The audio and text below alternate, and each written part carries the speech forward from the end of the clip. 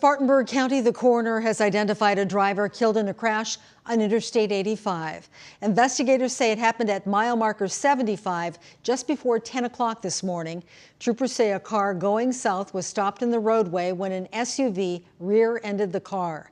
The coroner says the driver of the car, 61 year old Michael Lorenz, died at the scene, and the driver of the SUV was taken to the hospital.